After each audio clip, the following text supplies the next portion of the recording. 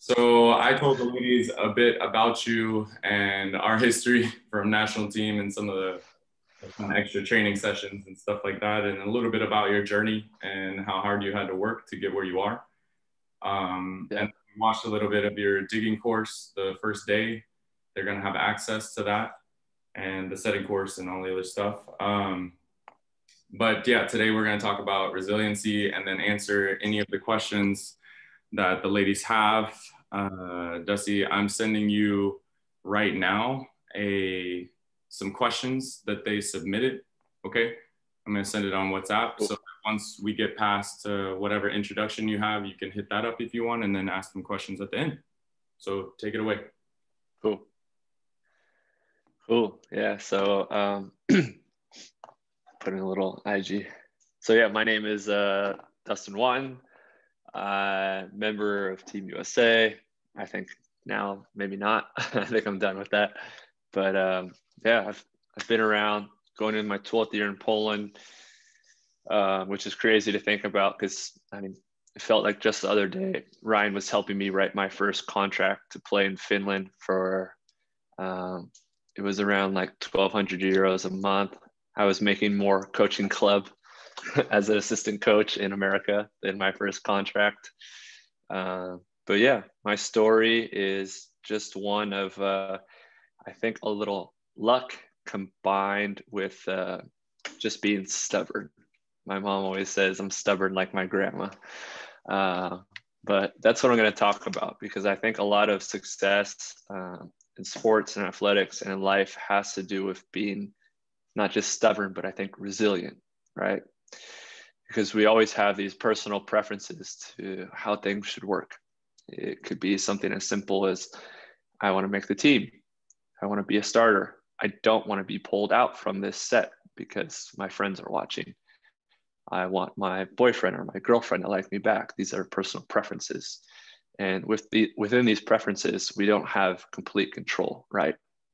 A coach decides whether you play or not. The coach decides whether he subs you out. Um, you don't even have complete control while you play in a game because there's another six players on the other side, five on your side. You can't control who your setter is. And a lot of times these personal preferences don't pan out. And so, what I've seen uh, throughout my career for myself, as long as my teammates at the national team and professionally too, is there's a very wide expansion of how people react to when things don't work out. Do they get frustrated? Do they get sad? Do they get angry? Do they get resentful? Do they get creative? Do they find solutions? Do they get back in the gym? And also, it's like how long do they stay resentful for me i can get resentful or angry but it doesn't last that long right because i need to get back to work maybe some people at first when it doesn't work out they get back in the gym but what happens if it continues to not work out do they keep on getting back to the gym over and over and over and over or do they eventually quit um, ryan like myself um, we didn't see a lot of success initially with uh, within the usa gym but uh, the effort and the decisions that were up to us I think always led back to a solution mindset where it's like, all right, I'm not making the team, but I'm going to get back in the gym early. I'm not playing in drill. I'm going to stay after and continue getting work. So I really like this topic. I was speaking with a friend, uh, maybe you know Matt, Matt Anderson, uh, opposite for Team USA. And we were speaking a little bit about his journey um, playing in Russia and just about his career. We're just kind of reflecting because uh, we're, we're a little older now, but uh, we had a moment to reflect over this past week in Italy about our careers, and it was the same thing. We were talking about a mutual friend, and just uh, it's just resiliency. You know, what do you do when things don't work out? What do you do when things don't work out for a month, for two months, maybe for two years? Because um, at least for Americans, a lot of Americans just quit, right? It's like, you know what? I miss my family too much. I miss my friends too much. I don't deserve this. This isn't right. But you know what? I think those are just easy scapegoats and to to not committing ourselves to our highest version when things don't work out. So I'm going to share a couple things. Um, like I said, Dustin One, I've been on Team USA for um, I think 12 years. Um, the first five years on Team USA, I, I really wasn't with the team. I was working with the B team, and uh, for three years, um, talking about personal preferences. Uh, for the first three years, I was with the B team, and there was just really no shot to make it and to train with the, the top team. There was already two liberos that were more established than I. Uh, but going to my fourth year, we got a new coach, and uh, I was so excited, so excited. It was a really good coach, and uh, it seemed like it was going to be this new shift, right? All the young guys from the B team were going to move up to the A team, and I was going to be one of those, right? Uh, our team had just won the, the Pan Am Cup, which is the big tournament for the B team. I got best defensive player. I was coming back from my team in France B. I got best libero. I'm so excited. New coaching staff, new era, new opportunity for me to make the first team. So I got into practice. Um, and uh, before I got into practice, I spoke with the coach. How was the season?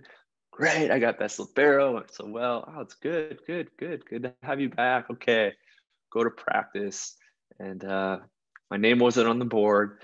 Um, I didn't practice at all. I was like, okay, it's kind of odd, but it's my first day back. And then after practice, I got the, I got the, hey, can I can I have a minute? And I'm so uh, oblivious. I'm like, yeah, sure. Like, what is it? Uh, little did I know that's kind of like the, hey, you're, you're cut and so um, went up to him and he's like, yeah, we have three liberos this year. You're not one of them. You know, thank you. And panicked, right? I was so panicked, so panicked, so panicked. Like, what do I do? What do I do? What do I do? It's like, I can't be cut from this team. Like, this is who I am. Like, I'm a pro volleyball player. I'm part of USA. What will I do this summer? So I kind of panicked and I was like, can I just, can I just stay? You know, can I just pepper? Can I just help out? I'll just shag balls. And the coach could tell he kind of had something to do, somewhere to be, and he's just like, "Yeah, sure. Like, you want to be like a volunteer coach? Like, sure, you can stay." And so that summer and the next summer as well, I was going into my my third and fourth summer of USA volleyball. I I like degraded myself where I was just like a, a volunteer coach, and it was kind of a thin balance of like uh, really believing in myself and just this thought like I just need time, but also this scarcity where it's like I'm just too afraid to not be relegated from the national team. And so once again, I had this personal preference of like, this is my shot. I'm going to make the World League roster. I'm going to train. And it didn't pan out. And uh, instead of panicking, instead of getting angry, instead of being resentful, you know, I, I just made the most of it. I didn't get any reps in that summer not really the next summer either. But you know, I would show up before practice. I'd be the fastest person to wipe up sweat. I'd be the person to stay after. Be grateful to being with those guys, to try and learn as much as I could when a coach was talking to a libero. And just realizing that, you know what, things weren't how I'd hoped they would be, but I'm going to make the best of where I am. And that comes back to with my effort, my preparation, and my commitment to any opportunity that was made available for me. And this theme really hasn't passed me throughout my journey. Um, you know, arrogantly, I like to think like, you know, eventually I made it, right? Oh, I finally made it. Like enough years on national team, you know, winning World Cup with the national team, starting winning the bronze medal World League, I made it. But uh, there just never is that. And I'm so grateful I've come to that realization because then we get to invest in ourselves. I was speaking the other day with uh, Facundo Conte from Argentina, amazing outside, maybe one of the best in the world. And he was saying the same thing in Poland. He just felt he was good enough, right? I'm, I'm good. I played in Italy. I played the national team. I'm good enough. And then he was finally working with a coach who helped him realize that you're, you're good maybe you are good enough, but you can always be greater. So he had this realization being at the very top. But for me, I've had to make this realization, I think, more or less when my butt is on the ground and I don't know what to do next. So um, I want to leave most of this conversation up for questions. Um, I'm going to keep on going back and I'll, I'll get on some rants. I have a communication major from Long Beach State, so I can talk all day. But uh, I want to make this um, as much as I can open to questions so I can be as specific as possible in your journey. But overall, I want to talk a lot about um, our ability to be resilient, right? That choice, our effort, the decisions that we make are completely in our control. Us starting on the team, making a team, getting a big contract, playing well, these things aren't completely in our control. And when we rely too much on these things panning out, we become much more vulnerable to suffering, to resentment, to not having a great relationship with volleyball, and then eventually quitting. And so the big message today, too, is what's completely in our control. And that comes down to our preparation, our effort, our actions, our ability to be a great teammate, and our ability to surrender even to those decisions that we don't like because we don't have complete control over it. So I want to open it up. Ryan or anyone else have some questions? I'll go on some rants and then uh, yeah, I want to be as specific as possible to where you are in your journey and how I can best help. So really grateful to be here and excited to help any way I can.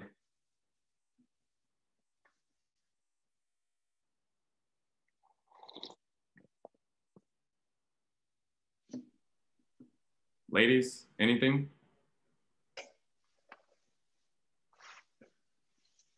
If not, then I'll just ask questions from this thing. But this is a big chance for you to step up to the plate Ryan, we, we send questions on the forums. Yeah, I'm send. aware. I'm aware, Swiss person.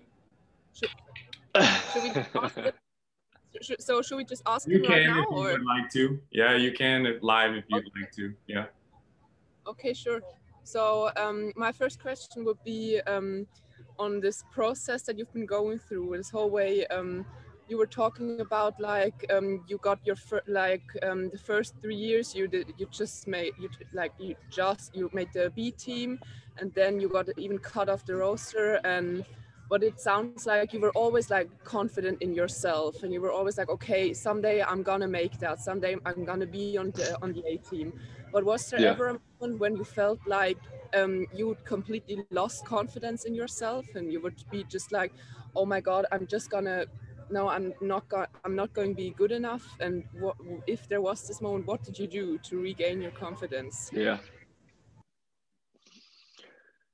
Yeah i mean even recently when i was in italy you know i thought um, we had the vnl and i i thought i'd play a little bit more than than i was i think in the first like 11 games i played one game and uh you know, just a a little bitter, a little resentful, and I understood that you know I wasn't going to go to the Olympics, but I'd hope I would be in a position to help uh, push the team, push the starting libero, and to be able and to compete. Because as I mentioned, I've, I've had a long career and especially playing some of the best leagues in the world.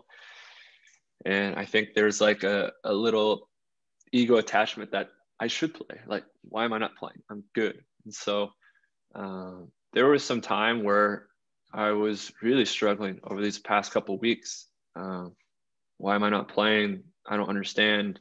Like, there's situations where I know I can help the team. I know I can push players. I can bring something different. And I think for me, it's just having the power to observe those thoughts, right? These these thoughts aren't us, right? for a lot of you players that have been in games, you have these debilitating thoughts, right? Like, oh, I'm blowing it. I can't pass. I'm not killing any balls. I can't make a serve, right? These thoughts aren't us. What are these thoughts? We don't know, but it's really good and almost important to detach ourselves from it and just observe them. And so for me, it's really important to be able to observe them. And to observe them, I need to train myself with mindfulness meditation. And what I mean by that is just ability to observe the thought the, the breath coming in and out of my nose, right? Being very specific with my consciousness. So in regards to the thoughts, these debilitating thoughts, I can also observe, observe them and know that, you know, maybe it's nothing personal, knowing that resentment doesn't help me, maybe that this anger isn't beneficial for the team, and just coming back to the thing that I can control, and that is just being a good teammate, staying prepared, and knowing that I'll get an opportunity because pretty much we'll always have an opportunity. Might not be in a game, probably going to be in training, but you'll always have an opportunity. And then, uh, yeah, the last match I was there for, uh, we played against Netherlands and I got subbed in. We are in the third set, we were down and I was able to come in and help us win in five. And so um, I should have known because I was starting to feel more resentful than present or mindful. But it's just this thought where wherever we are in that frustration, we need to come back to the breath, begin again, and realize what is completely in our control. Because just playing good, training good, that's not completely in our control. We can't just push a button and say, I'm going to play good. I'm going to play great. I'm going to come into the game and be great. Can't say that because there's so many different players. You can't push a button and say, I'm going to start because there's more players to choose from there's a coach that makes a decision. It's more so the mindset we wake, wake up with, the gratitude we wake up with, where we choose to live with, and then the actions for that day, right? Not playing, I'm frustrated, I'm not playing good, but you know what? Let's be intentional today. Let's wake up early. Let's meditate. Let's journal. Let's find things that we are grateful about rather than focusing on the things that we don't have in life. I think it's really powerful to crave those things that are already in our life. Um, I'm sure there's a lot of athletes here that have already achieved a lot, right? But once you achieve these things that you previously were so excited to achieve, it just becomes the new normal. Oh, like I'm a pro. Like, oh, that's not a big deal. But before it was like, oh, I'll do anything to be a pro. I'll do anything, anything, anything, anything. And then you become a pro and you adapt to this, right? And you're just like, I'm a pro. Like now I should be on a better team, right? So I think it's important to find those things in our life that we already have to crave find that gratitude. And now we have a higher foundation to move forward with. And with that, we can align our decisions with what we feel we need to do, right? If I'm not playing, if I'm not getting playing time, it's like, what can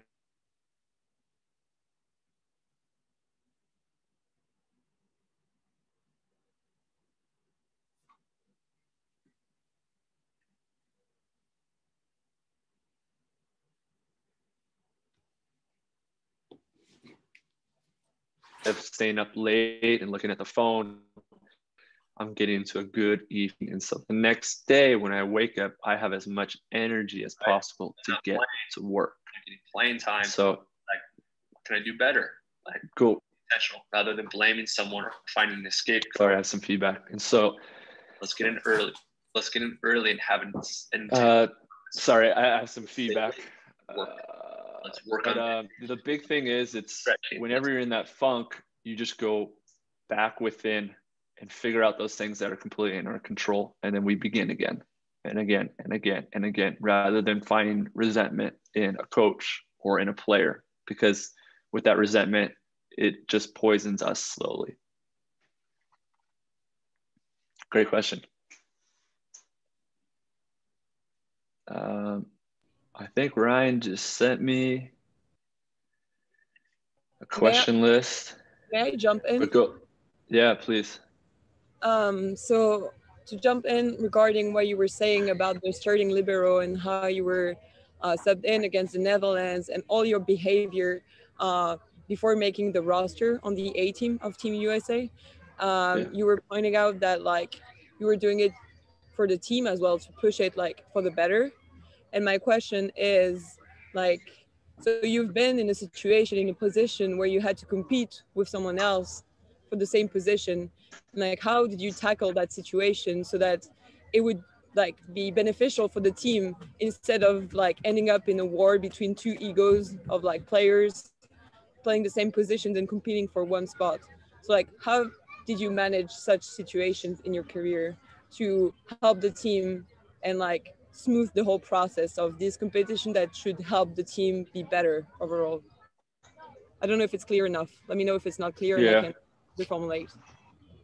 Yeah, there's this. Uh, I think it's this Buddhist word called mudita, and it's this thought that life isn't a zero sum game. Like, for example, if the libero starts, well, he wins and I loses. If I start, I win and he loses. Where we can also be happy for others and share the joy in their success. And I think this is so important in life. And in sport, it's very difficult. It's so, so, so difficult because we feel that is a zero sum game. Oh, I didn't play. You know, I played and he didn't. So I won today. And so I think um, I was very lucky because when I started playing at a little higher level in college, um, I went to like my hometown school and I was just so bought in in the team. And I always had this thought that either I play because I'm great and I deserve it, or the other libero plays and he plays because he is the best libero in the nation. That's how good I am. There's no other reason, right? He's playing because he's the best libero in the nation because I'm pushing him so hard. And so I think uh, you have to have this attitude where you have to make it clear, not just to yourself, but to everyone that you're the starter. Because we'll always have a friend that will be like, oh, but you should be playing because you're a better defender. Oh, you should be playing because of this, this, that. And uh, even though that friend wants to help you, make you feel good, to to not lend our ears to people looking to to give you pity or to make you feel good. And so I like to make sure that I'm doing everything I know to be the best person, not just on the team, but in the league, maybe in the world, and to never really complain unless I feel like it's completely clear. And even at that, it's still kind of an ego trap, right? Because now you're just saying things to make yourself feel better. And so um, it's really difficult, even in my professional teams. You know, usually the second libero is pushing me. The last two years, they've played some defense too. And I'll get frustrated in the moment, but then if I'm on the bench, I'll have some time to think about it. And it's just like the coach made the decision. Being resentful, being pouty isn't going to change that decision. It's not who I want to be. And I have to know too, deep down, that that other libero has worked really hard to get this opportunity, and I need to support him. And if I'm really frustrated and I'm really bitter and angry, well, I'm going to get into practice early, you know, every single day that next week. And so it can push me to be even better. And how grateful am I to have another libero pushing me to be even better? The team I'm going to go to next year, they, they signed a, a really good second libero. And I thought about it. I was like, why, why they signed such a good libero? And then I thought about it. I was like, well, you know what? Great. I'm going to be that much better because he's going to push me every single day to get on the court. And because of that, I'm going to be so much more intentional. I'm going to get to practice early. I'm going to stay after practice because uh, I want to play. Every athlete wants to play. I don't think if you're a real athlete, just being on the team is good enough. We all have that drive. And so when we have that competitor, we should look at them as an ally and be like, thank you. Thank you for pushing me to be an even better version than possible. Because if we're just the only player on the team, we're, we're probably going to do the least amount, right? It's just natural. Humans are creatures of least effort. But when we have someone else pushing you, or if you're pushing someone else, it's just consistently reflecting how can I be better? How can I be more intentional? What can I cut out from my life? Because we can always cut out things as well. And so keep on reflecting and knowing that it is a team, right? And if someone's ahead of you and they're good and you're not playing, you can always be that much better or make the choice that much easier for the coach by your actions. And if someone's pushing at you, be grateful. Great. Thank you. My career is much longer than this one year. And even if you play in front of me a couple more times, I'm going to be that much better because I know you're pushing me and I'm going to have to push myself even more than I thought I would. Great questions. Thank you.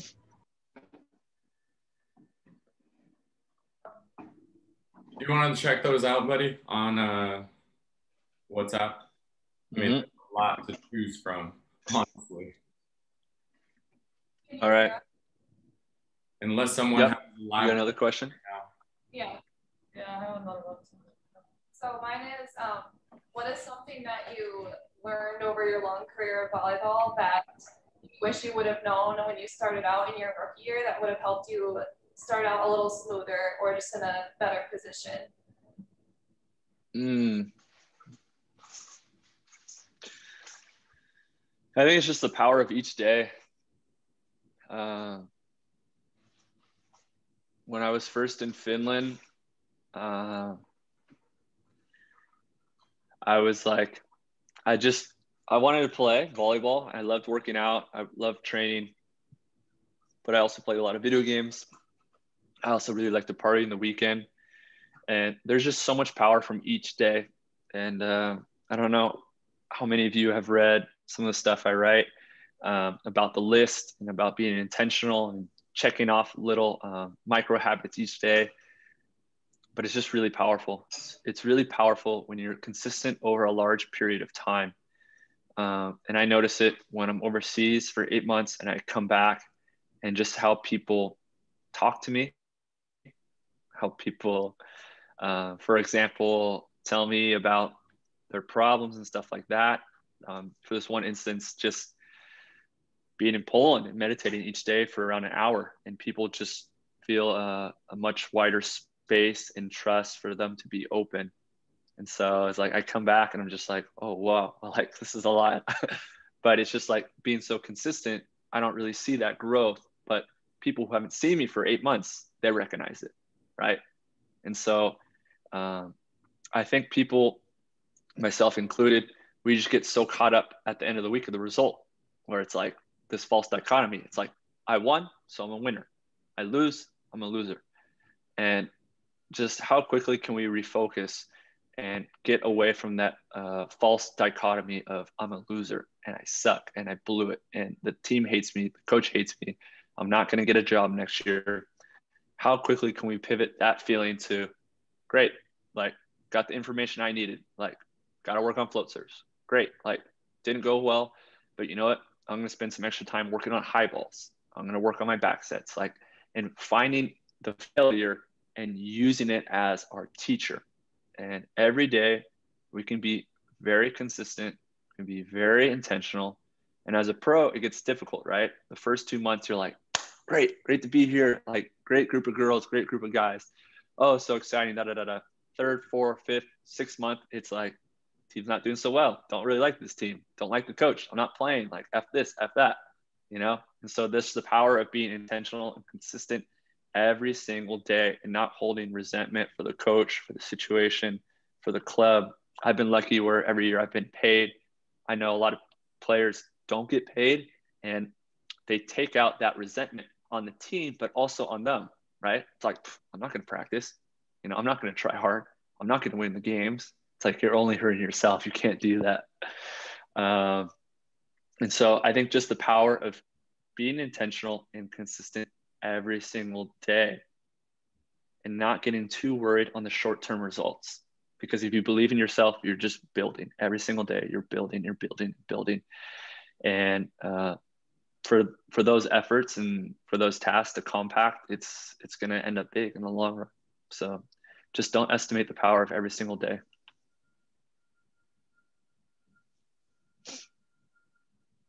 I have another question. Um, was there like Yeah. a specific moment or a game that just like switched your mindset to just like, oh, I have to learn like how to control the stuff. I have to learn how to not like have any like resilience towards the coaches and just like everything they just talked about. Was there like a specific moment that helped you realize that, or how did you even like started getting into that like slowly? Yeah. Yeah, I mean, there's a lot of moments as it's like, uh, I feel like every year I just like, con- like I don't know how to say this without being arrogant, or it's like I continue to evolve to like another level, right? And so I remember the first time this happened was my second year in Finland. My first year in Finland, everything went really well. Team played good. I got libero of the year. Second year, I didn't necessarily want to go back. Right? I was like, goodbye, everyone. Like one year was good enough. I'm gonna go somewhere else.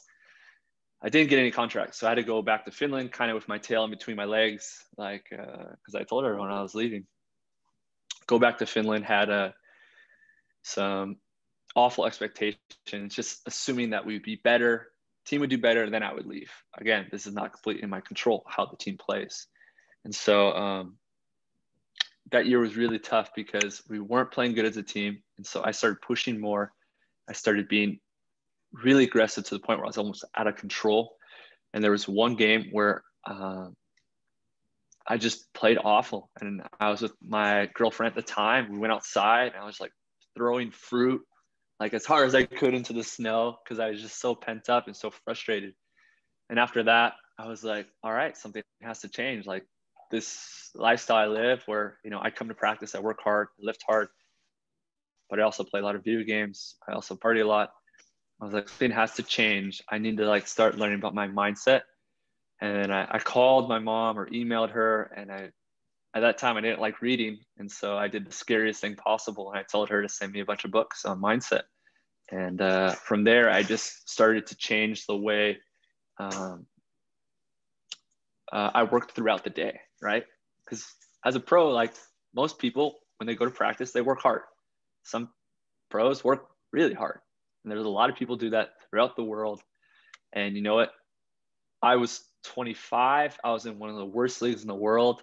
And I was like, you know what? Like, I have to start working differently. I need to be more intentional. I need to be more purposeful and not just on the court, off the court.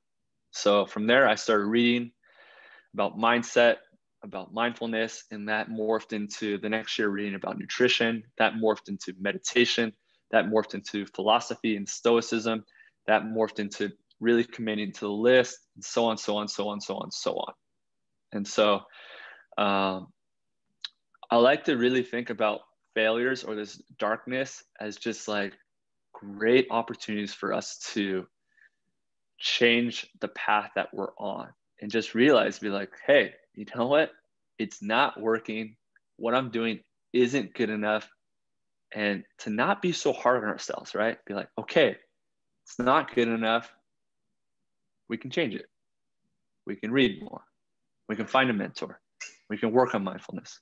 We can work on meditation. We can spend more time in the gym. We can get a deeper relationship with our assistant coach or head coach and get more reps. There's always ways to change it rather than just sitting in the darkness, sitting in the mud and saying, this sucks. That's not fair why don't I play? No, we always have the possibility to change. And usually that change needs to start within first.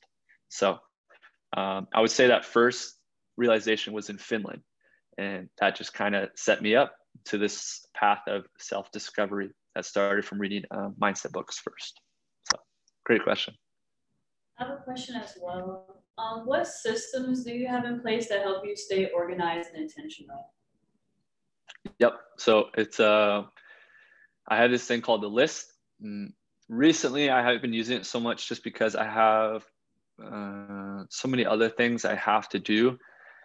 Uh, that just takes a bulk amount of my time. But this list really helped me when I didn't necessarily have a business and I just had a bunch of free time throughout the day, right? And so how the list works is uh, I have it Monday, Tuesday, Wednesday, Thursday, Friday, Sunday, and each day has a list of small tasks um, could be meditation, uh, journaling, not eating processed food, getting extra reps, meditating at night, stretching before I go to bed. Some examples, right? So, first thing I do, I wake up, I meditate, and I go and I cross off meditation. After that, I journal, I go to my list, I cross off journaling.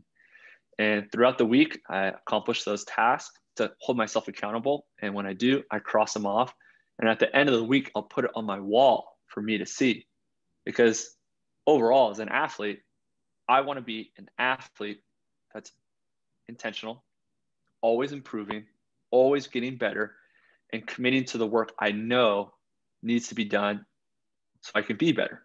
So if I look at my wall and I see 80% of the things aren't highlighted, Well, that's like my mirror, right?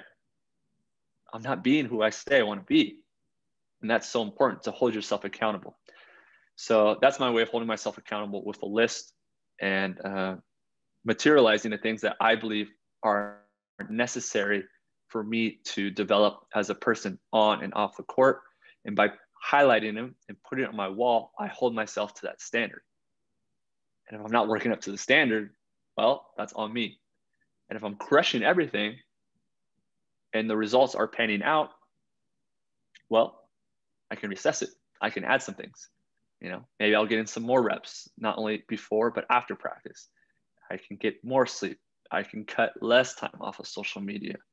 And so I like using the list kind of as um, a compass to growing and becoming my best version. So you guys can read more about that on my website. I wrote three different articles on that in the kind of subcategories I use um, with regards to the list.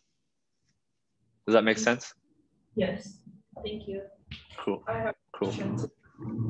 After all these years, uh, what would you say what's the hardest part of being a pro? Sorry, can you say a question again? Yeah, uh, after all these years, what would you say what's the hardest part of being a pro volleyball player?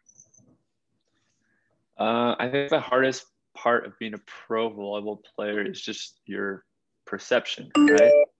It's very easy to focus on what you don't have. I don't have family. I don't have, most of the time, you don't have a relationship. I don't have a community. I'm not home. Uh, I was talking to a, an amazing American volleyball player this year, and he was saying that he had lost eight months of his life. I'm like, what do you mean? He's like, well, I missed birthdays, I missed weddings, I missed my nephews being born. Excuse me. And it's like, yeah, you can focus on that, or you can focus on the eight months you just spent playing in one of the best leagues in the world by yourself, dealing with all the difficulties that come from the coaches. And if you started meditating and reading more, you can talk about, you know, you can focus on these things that you brought. But it's just our perceptions, right? Where do we focus? And I think going back to the list, there's a lot of power of starting your day of journaling, starting your day of gratitude, and realizing how much greatness you have in your life. You can also realize how much scarcity you have in your life. And so the biggest thing for me is perception. I know for Ryan too, it's like he never went overseas. He wouldn't be living in Europe, you know? He's like crushing it as a like a, as a nomad. And he's met so many great people. And instead of just having one family in Chicago, he has probably now hundreds of families throughout the world. And through that, it's so much love, so much relationships, and uh, so much clarity, I'm sure, on how he wants to live his life. Like he lives in Europe now.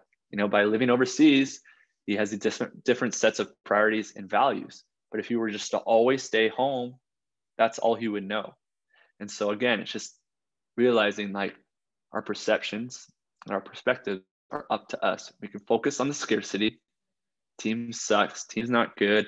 Coach doesn't play me. I don't have any friends here. I miss my girlfriend. I miss my boyfriend. Or it's like, wow, I'm learning so much about myself. This is really tough.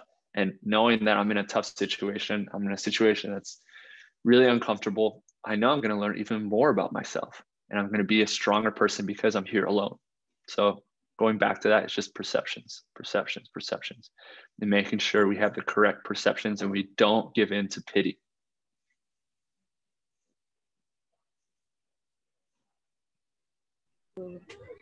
Uh, I have another question. Um, Yep. You were, no, uh, you were mentioning the stoicism before some minutes ago. Could you maybe come back to this? Like, um, what were some practices you learned with this uh, in this area, or what are you doing? Like, um, yeah. Yeah, yeah, yeah. So I, I kind of stumbled upon Stoicism on a time where um, I was playing on a team that was one in 19 in France. And uh, it was really difficult. I just won the World Cup with Team USA, and my ego was like, I don't deserve this. This isn't right. I shouldn't be here. I'm way better than these players, et cetera, et cetera. I just kept on telling these stories of being a victim, of seeking pity with my friends. And of course, my friends would agree with me, right? They want to tell me what I want to hear to make me feel better.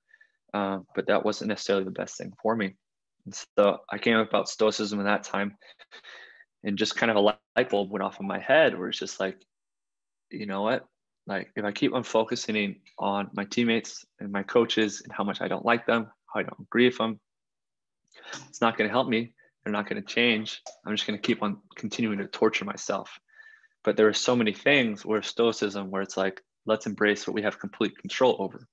And at that time, I was using a list, but you know, maybe I do it like 40%, 30%. Maybe after Tuesday, I hadn't done it a lot. And so I'm just like, I just won't do it for the week, you know? And so after reading like, I think half of this Stoic book called Meditations, I was like, wow, you know what? I'm going to commit to doing everything on my list for three weeks. And then I'll see, I'll see what, see what's going on from there. Because previously I told my agent, I was like, get me out of here. I don't care where I go. I'll be a second libero on the team anywhere from this situation, right? I just wanted to escape it because, again, it was uncomfortable. I was making excuses. I was finding pity and just creating this story where I can't thrive to be here. At least that was my ego's story. And so I did those three weeks, woke up, first thing I did, make the bed, go meditate, make a great breakfast. I would juice, have a nice coffee. Uh, I would go lift. I didn't have a car. So my coach had to drive me. Sometimes he wouldn't let me stay and do my full lift and conditioning. And so I would come back home and I'd go into the park. It was like freezing, but I would do my sprints. And I just wouldn't make any excuses for myself. I couldn't get any extra reps before because we had a team right before us and right after us. So what I would do instead of making excuses, I would put my parka on in my house and I would warm up in my house. And so when I got to the gym, I could start getting those extra reps while my team was warming up. And so again, it was just, I was in this victim mindset and everything was against me, woe was me. And then after kind of finding stoicism, I was like, wow, so many of these things are absolutely in my control. I'm just refusing to make the decision. And rather than making these decisions, in my favor finding excuses. And so um, I really like Stoicism, and I love this thought of uh, it's called the dichotomy of control. Um, you can also find this in on my, my website, where the Stoics wanted to be completely clear in these two categories. There's things that are not completely in our control. For volleyball, this could be making a team, getting a big contract, playing in a great league, starting and playing well, right? These things are not completely in our control. There's other factors, there's other people making decisions. We can't say with certainty, I'm going to play in a great league. We can't say with certainty, I'm going to play a great game. Doesn't matter how prepared, how fit, how ready you are. You can't say, I'm going to play a perfect game. But what can, you can say is, I'm going to be as prepared as possible. I'm going to have the best mindset. I'm going to have the best effort. I'm going to be the best teammate. And at the end of the day, I'm going to be able to deal with the, those things outside of my control as best as possible. So when a coach sits you, you control how you react to that, right? You can go on the bench and you can like throw your paddle. I don't know if girls do that, guys do that. They take the paddle and they throw it. They go to the bench and they pout, or they go to the bench and they just clap, right? That's our decision. No one else has control over how we react to things we don't have complete control over. So I love going back to the dichotomy of control because I just find that so empowering. Once again, we don't want to, we don't have to be a victim. We can go within and realize how many opportunities are truly up to us to improve our game on and off the court. So stoicism has been a big part, and um, I write about it a lot. Um, on Instagram and then also on my website. So you can check out more there. But great question. I just want to jump in, Dusty. I think this is uh, one of the reasons why I initially just thought like, man, this is a this is a dude I need to spend a bit of time with. So for me, mm-hmm. training with you in the beginning was not just because you were in the gym, but it was because you were who you were.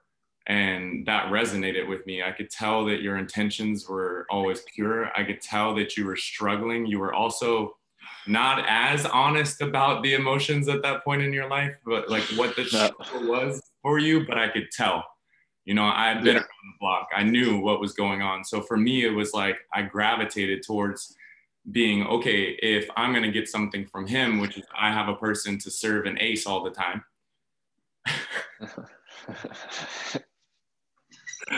then i have to be ready to give him what i feel like I, it's like I, it's resonating you're emitting these vibes of you know i'm i know i can work hard i know i can stay consistent and persistent and resilient but it ain't easy, you know? But yet here you were, this really, really great person who smiled through troubles, who uh, helped whenever possible.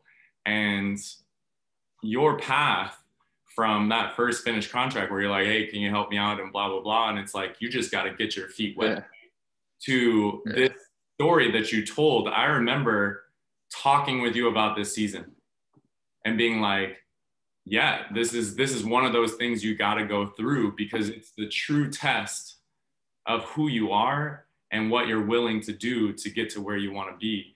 And like you're like literally 180 to say, let me lean into learning about the things I need to learn and start implementing all these things I know I should do and or I found out recently or am finding out I should do.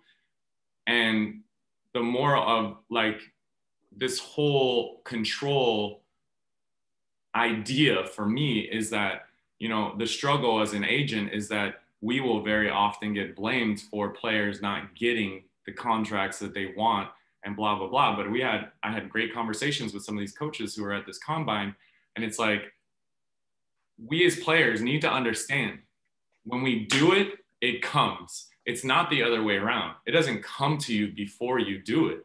And so, like, we have to put in that effort and then we have to have those results in order to earn those things. And so, this world and the way things are moving, and I think all these young people and even us, we need to be very aware of when the ego gets in the way, right?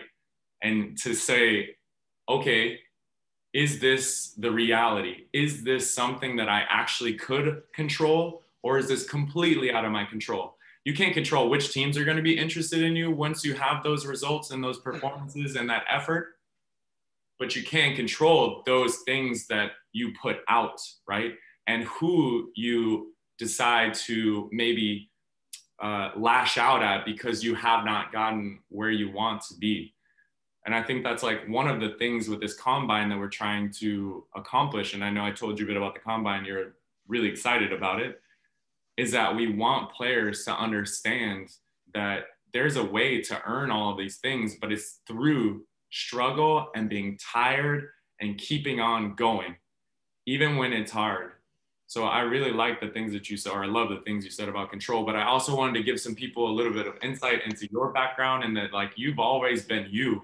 It's just that you keep improving on it and you've made some very important decisions to lean into doing the things that you have to do, which it took me forever, bro, to do the same thing. I'd be like, I know I need to meditate because it's just like, yeah. duh, it's, it's like all of these things. So I just wanted to throw that out there. Yeah, I mean, it's it's funny. I almost like kind of brag about this now, even though in in the past present moment it wasn't so fun. But I mean, I was like a six year uh, overnight success success story. Like I was with the national team for five and a half years before I made my first like A team.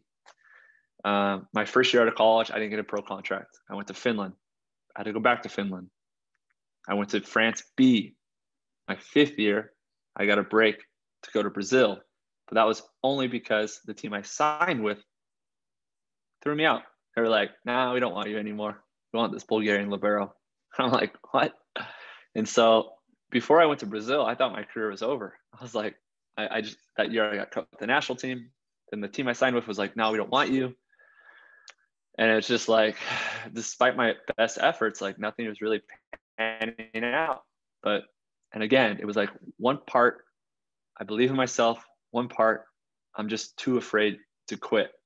But it was just intentional, consistent, intentional, consistent. Without necessarily this thought of like, there needs to be a good outcome for me to continue. It was just process, process, process, process, process, process, process. And now it's like I'm going to my fifth year in the Plusliga, where there's been three years where I've been the only foreign libero in that league. I think about that, I'm just like, wow, uh, it's it's crazy. But it's just if you believe in yourself, you can do it.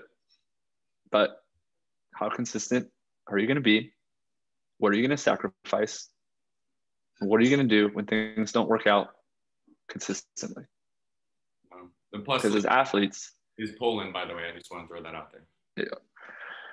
Because as athletes, we we get a lot of feedback, whether it's conscious or not, of being winners, right? Our parents, like, you know, when we're younger, if you win, they're like, yeah, you won. And it feels good, right? And when you lose, it's like, ah, you lost. And like there's something inside of you, it's like, oh, like I I didn't get the yeah, right? So we do focus on the outcome. And after enough times, when the outcomes don't manifest, we start to withdraw and maybe we quit because there is a certain feeling of love and wholeness when the outcomes go our way. And when they don't go our way, there's a certain amount of I'm a failure. I'm not good enough. People don't like me.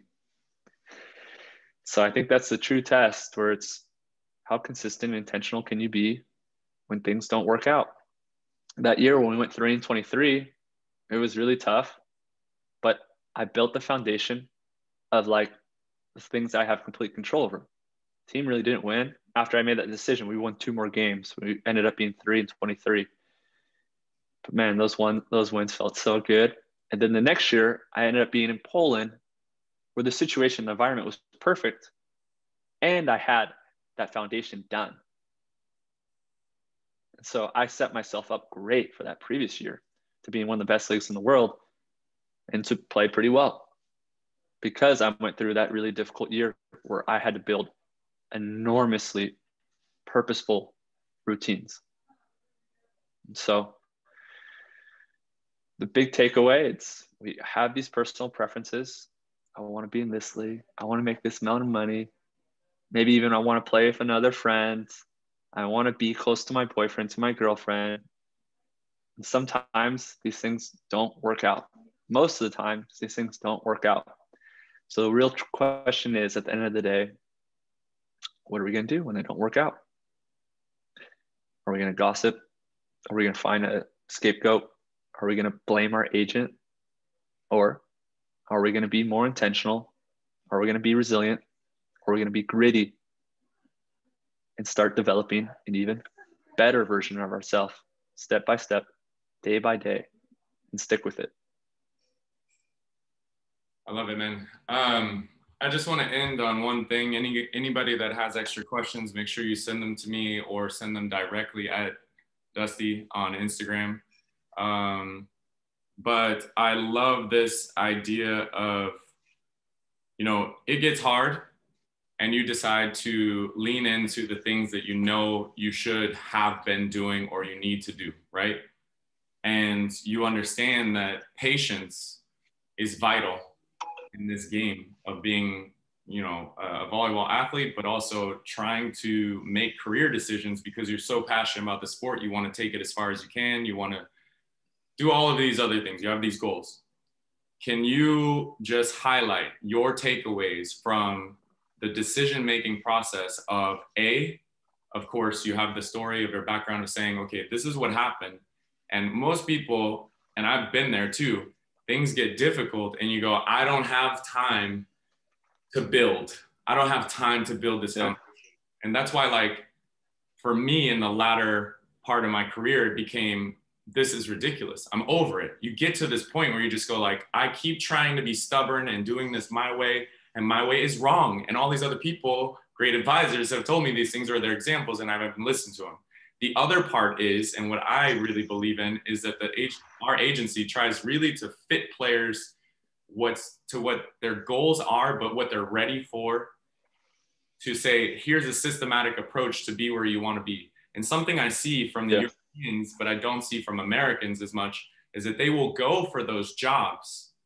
And it's starting to change with this new era generation of players and the egos and blah, blah, blah. And social media is playing a big part of that. So be aware of that. Everybody out there is that playing a part of my decisions. But players over here generally will say, I will take the thing that builds me up more.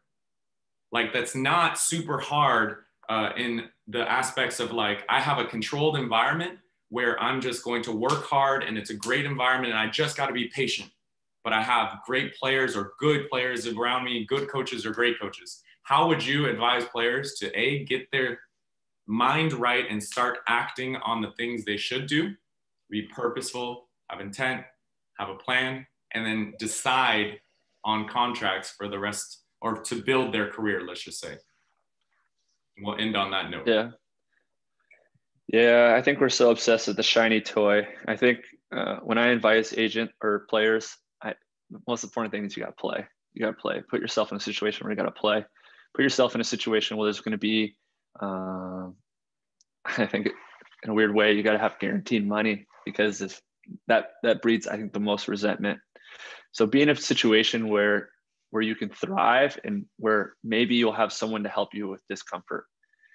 Um, and I think you just have to dig into the process. You know, you always believe it's just going to be like that, and like everything's perfect and that's just not how it is and so uh, a big thing for me is thinking about contracts one can i play and two uh, making sure we don't get too dark whether it's like having someone else on the team that you know you can go to. It's a situation where you can step outside of volleyball and have something else. Or if you want to have the stoic challenge just go as hard as possible and know that you have the meditation journaling practice to go back to. And then um, the first question i forgot what it was again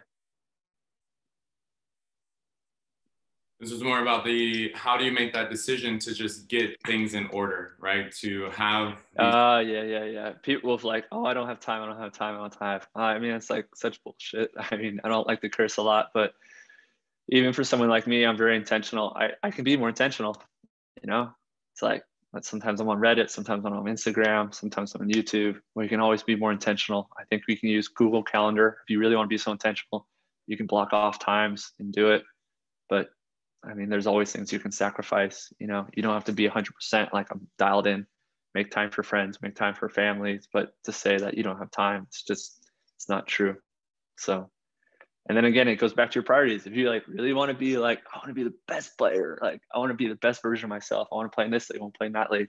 It's like, okay, your actions at a certain point have to align with that. And there's always more you can do. There's always more you can do. You can always be more mindful. You can always get more intentional reps. You always watch more video. It's just depends. Are you going to align your actions with that version that you say you can be, that you say you want to be? So that's my thought. Uh, but yeah, uh, I'm gonna head out because uh, I'm with Thanks, my girlfriend that I haven't seen for three months, and I need to be present with her. But you guys can always write me on Instagram. Um, I always respond. Um, I know sometimes these spaces aren't the best for introverts, and that's cool too. And so, if you have any questions that you'd like me to answer, or you're curious about, or think would help your journey, uh, write me there, and I'm, I'm happy to answer. And hopefully we can do something like this soon. Maybe even next year I'm there in person. Let's let's see. I hope so, brother. Take care. Have a great day. Thanks, ladies. All right. Thank you guys. Thank Peace. you so much. Bye. Bye.